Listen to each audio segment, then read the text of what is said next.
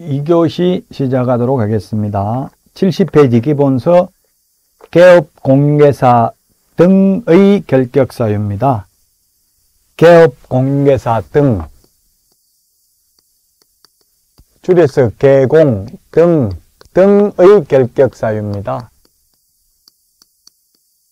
등이 될 수 없는 사유입니다. 한마디로 말하면 취직도 안 되고 개업도 안 되는 결격 사유입니다. 개공등이라고 하면 누구를 개공등이라고 합니까? 개업공개사, 소속공인중개사, 중개보조원,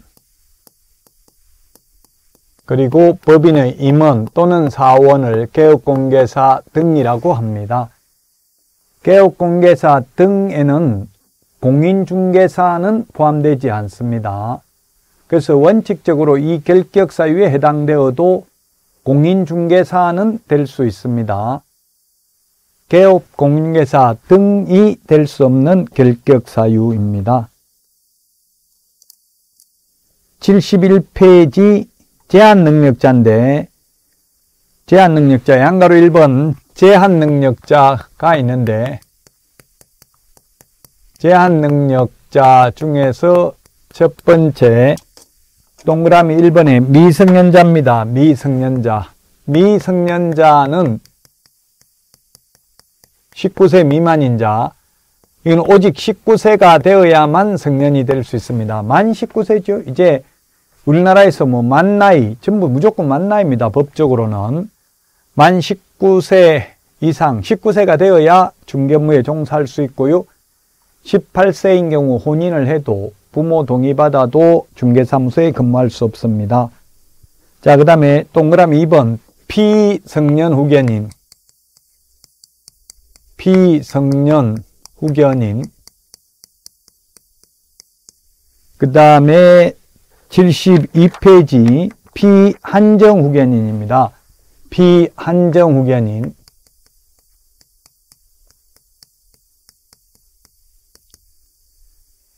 미성년자는 나이를 먹어야 되고요. 그 다음에 피성년 후견인, 피한정 후견인은 후견 종료 심판이 있어야 됩니다. 법원의 종료 심판이 있어야 결격 사유에서 벗어납니다. 피성년 후견인은 후견인이 뒤에서 보살펴 주는 사람, 성년으로서 뒤에서 보살펴 주는 사람, 피는 보살핌을 받아야 되는 사람, 한정적으로 보살핌을 받아야 되는 사람입니다. 롯데 전 신격호 회장 돌아가시기 전까지 피한정 후견인이었죠. 그래서 이런 피성년 후견인, 피한정 후견인의 경우에는 시험에 정신과 의사로부터 정상인이라는 소견서를 첨부하면 결격사유에서 벗어난다 X입니다. 법원의 종료 심판이 있어야 됩니다. 자, 그 다음에 두 번째 파산 선고 받은 자입니다. 파산 선고 받은 자는 복권 결정이 있어야 됩니다. 복권 결정. 복권 결정이 있어야 된다. 파산 선고 빚잔치를 한 거죠. 자기도 망해가지고 빚잔치를 해놓고 남한테 부자 되도록 집 소개시켜 줄게 이렇게 할 자격 없죠. 그래서 법원의 복권 결정이 있어야 됩니다. 시험에 파산 채무를 모두 변제 완료하고 법원에 복권 신청하면 벗어난다. X입니다. 신청만 한다고 벗어나는 게 아니라 복권 결정이 있어야 됩니다. 자, 그 다음에 양가로 3번 금고 이상 형을 선고받고 그 집행이 종료되거나 집행을 받지 아니하기로 확정된 후 3년 미경과자입니다. 3년 미경과자. 결격 사유에 해당됩니다. 자, 그러면 첫 번째 그 집행 종료가 뭐가 있느냐 하면 우리 기본서는 73페이지 집행 종료가 있는데 집행 종료에는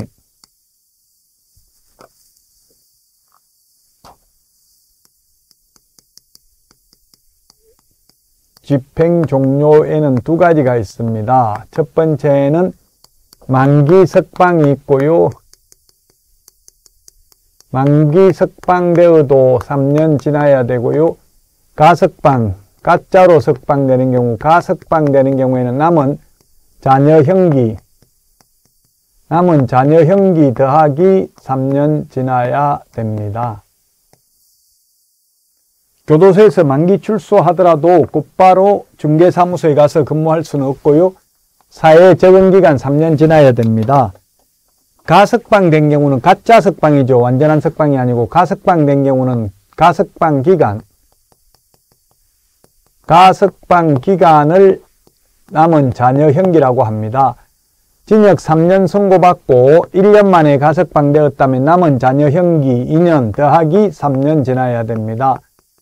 3년 선고받고 3년 만에 출소한 자나 가석방 된 자나 선고받은 날로부터 결격사유에서 벗어나는 시기는 똑같습니다. 둘 다 6년 지나야 됩니다. 집행 용료되면. 자, 그 다음에 동그라미 3번 집행을 받지 아니하기로 확정된 경우, 즉 집행 면제입니다. 집행 면제. 집행 면제는 뭐가 있느냐면 기억에 보니까 범죄를 구성하지 않는 경우 이게 소위 법률 변경입니다. 법률 변경. 간통죄가 폐지되어 가지고 간통죄로 구속되어 있다가 석방된 경우 그 다음에 두 번째는 외국에서 받은 거 이거는 시험에 안 나오니까 생략을 하고요. 그 다음에 디귿에 형의 시효 완성 형의 시효 완성되어도 5, 3년 지나야 됩니다. 그 다음에 리얼의 특별 사면도 3년 지나야 됩니다. 특별 사면되더라도 3년 지나야 됩니다. 모두 3년 지나야 결격 사유에서 벗어납니다. 3년 지나야.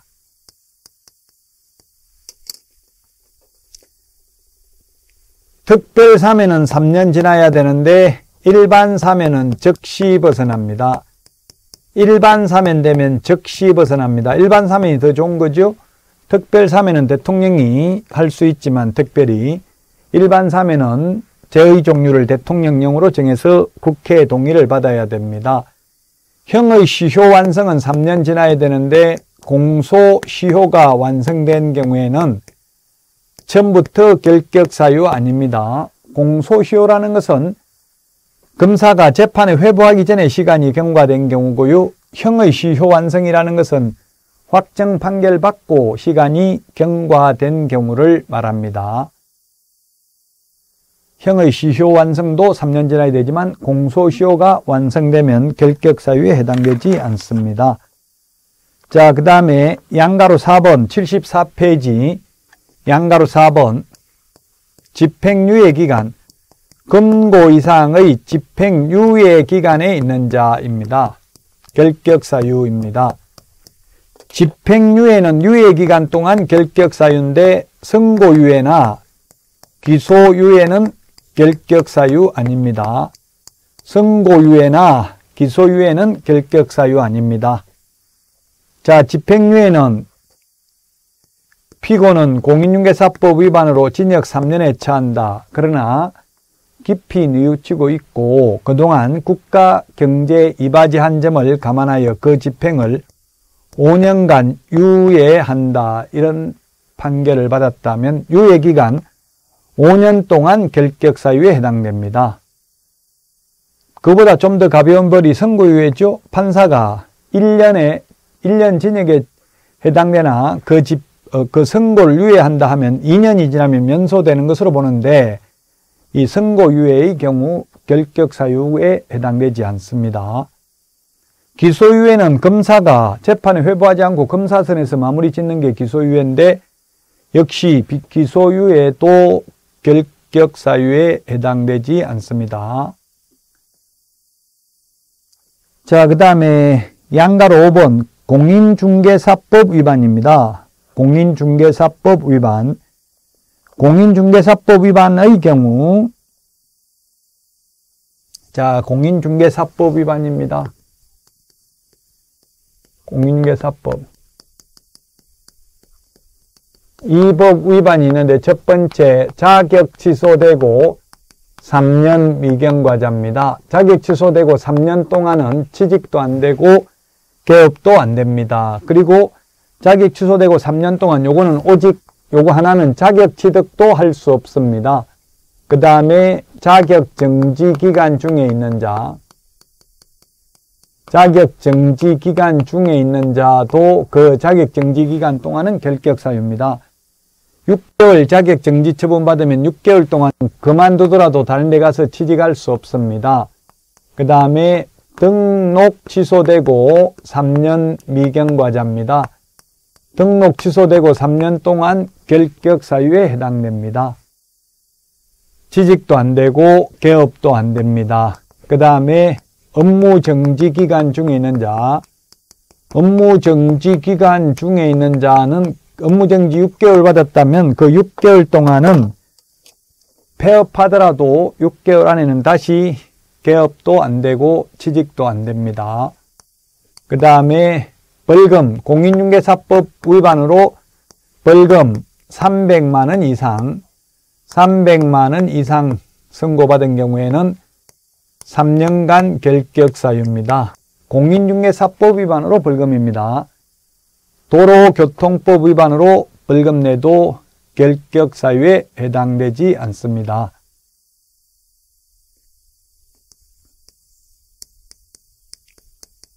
그 다음에 법인의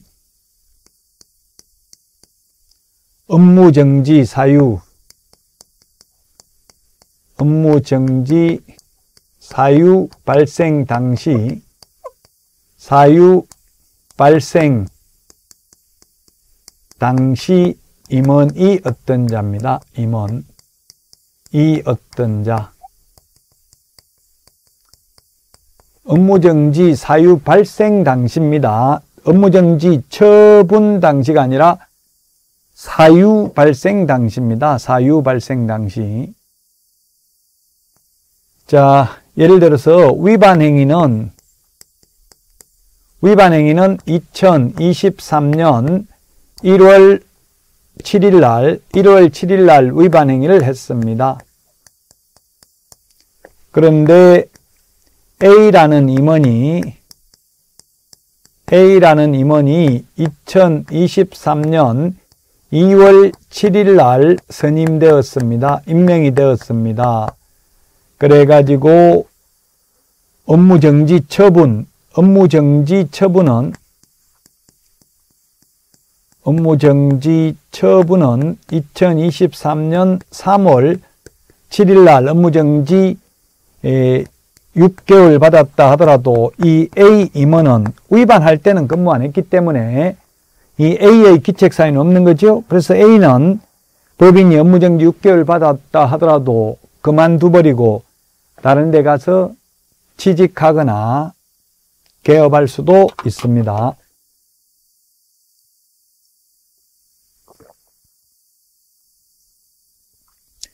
자, 그 다음에 75페이지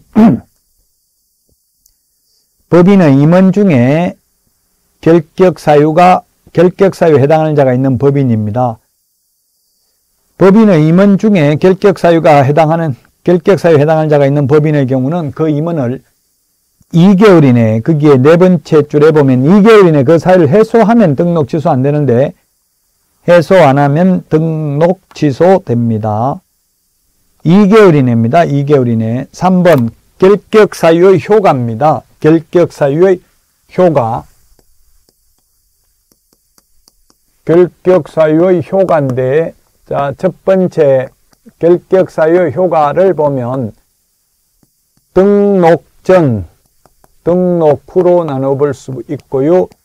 그 다음에 고용, 취직하기 전, 취직하기 전과 취직한 후로 나누어 볼 수 있습니다. 등록 전, 즉 개업하기 전이라면 등록 불가입니다. 이 결격 사유에 해당되면 개업 안 됩니다. 근데 이미 개업되어 있는 사람이 결격 사유에 해당되면 등록을 취소해야 됩니다. 법인의 임원이 결격 사유에 해당되면 등록을 취소해야 되나 단 2개월 이내에 사유를 해소하면 등록 취소하지 않습니다. 해소 안 하면 등록을 취소해야 됩니다. 그 다음에 직원으로 고용 전에는 고용 불가입니다. 고용 불가고요. 이미 고용된 후에 결격 사유에 해당되면 해고해야 됩니다. 해고라는 말을 쓰지 않고 지금은 고용관계 종료라고 합니다. 고용관계 종료 사유에 해당됩니다. 단 2개월 이내에 사유를 해소하면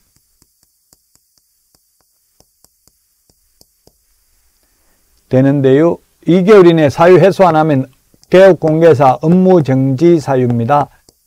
소속 공인회사나 보조원이 결격 사유에 해당되었는데 2개월 이내 사유 해소 안 하면 업무 정지고 법인의 임원이 결격 사유에 해당되었는데 2개월 이내 그 사유 해소 안 하면 절대적 등록 취소 사유에 해당됩니다. 자, 개업하거나 취직할 수 없는 결격 사유 요거 시험에 반드시 출제되는 파트입니다. 최근 35년 동안 해마다 출제됐다. 76페이지입니다. 기본서 76페이지 위에서 네 번째 줄 결격 사유 등의 조회입니다. 예, 결격 사유에 해당하는 제보를 관계기관에 조회할 수 있고요. 옛날엔 본적지 신원조회를 했는데 지금은 그 인터넷 사이트에서 확인을 하더라고요. 자, 그 다음에 2번 소속공개사 또는 보조원으로 외국인을 고용하는 경우 등록관청에서 결격 사유에 해당하는 제보를 조회할 수 없기 때문에 결격 사유에 해당되지 아니함을 입증하는 서류를 제출해야 된다. 그게 뭐라고 했습니까? 그 국가에 주재하는 대한민국 영사관이 확인하는 공정서류나 증명서류 또는 아포스티유 확인서를 제출해야 됩니다. 자, 그 다음에 동그라미 3번 벌금형을 선고하는 경우에 즉 공인중개사법 위반하고 다른 법률 위반 경합범에 대해서 경합범이라는 건 여러 가지 죄를 경쟁적으로 지은 죄를 여러 개 지은 경우에 이 중에서 벌금을 선고하는 경우에는 반드시 분리해서 선고해야 된다. 즉 공인중개사법 위반으로 벌금 500만 원, 사기죄 위반으로 벌금 500만 원 분리해야 된다. 왜냐하면 공인중개사법 위반으로 300만 원 이상 벌금 선고받으면 3년 동안 결격 사유에 해당되니까 벌금은 분리해서 선고해야 됩니다. 징역인 경우에는 분리 안 해도 됩니다. 왜냐하면 징역의 경우에는 이 법이든 저 법이든 징역형 받으면 모두 다 결격 사유에 해당되기 때문에 그렇습니다. 자, 76페이지 문제 풀어보도록 하겠습니다. 등록할 수 있는 경우는 이 말은 결격 사유에 해당되지 않는 경우는 이 말이죠. 등록할 수 있는 경우는 했는데 1번 부정한 방법으로 자격 취득하여 자격 취소되고 2년, 2년밖에 안 지났으면 안 되죠. 3년 지나야 되죠. 3년. 자격 취소되고 3년, 예, 자격 취소 3년, 등록 취소 3년, 3년입니다. 그래서 1번 틀렸고 2번 도로교통법 위반으로 금고 이상 실형 선고받고 집행 종료된 날부터 3년이 경과되지 아니한 자 예, 금고 이상 형을 선고받으면 3년 미경과는 결격사유입니다. 3년 경과해야 됩니다. 경과 안 됐기 때문에 결격사유고요. 3번은 자격 정지되고 그 정지 기간 중에 있는 경우에 자격 정지 기간 중에는 결격 사유죠. 자격 정지 기간 중 업무 정지 기간 중에는 결격 사유에 해당이 됩니다.